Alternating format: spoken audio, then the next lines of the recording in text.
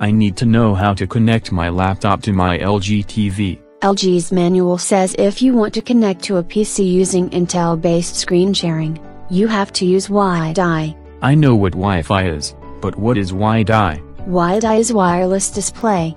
It lets you display your laptop screen onto a smart TV. I don't know if I have Intel in my computer, but I'd like to know how to do it. If you use WiDi, you use a 2.4 GHz up to 5 GHz band. That's a standard Wi-Fi band, so I know my antennas can handle that. Turn on the TV, go to Smart Home, go to Settings, set it to Intel WiDi on. That's the settings side.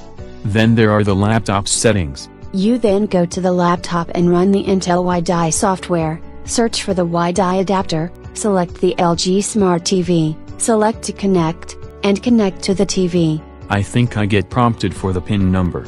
Enter the pin number on the TV display into the computer display to confirm the connection, then select the graphics option for the type of output. The Smart TV.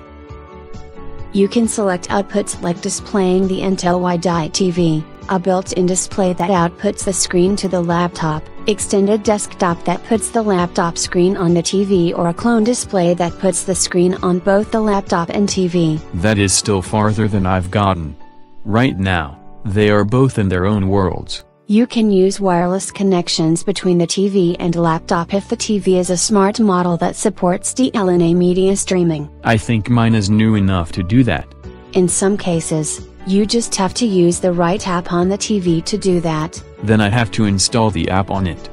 You could use apps like AllCast too, assuming you don't use a media server like open source Kodi, Plex and Emby. That's too complicated for what I want to play media accessible via my online media accounts on the big screen TV. You can use the Smart Share to access the PC files from the TV. Is that an app?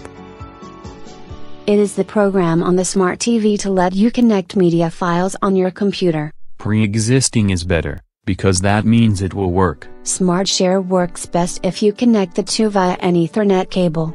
Use WiDi or Wi-Fi, and you're more likely to see delays. I have an HDMI cable.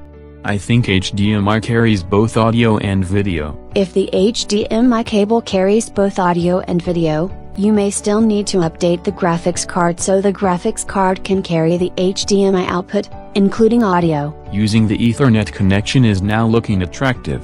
Make sure they are on the same network, and you probably need to update Windows Media Player too to share the media files with the TV. You do that by opening the app and telling it to check for updates. Update the app, add files to the Windows Media Player library and then play those on the laptop so it plays on the LG Smart TV.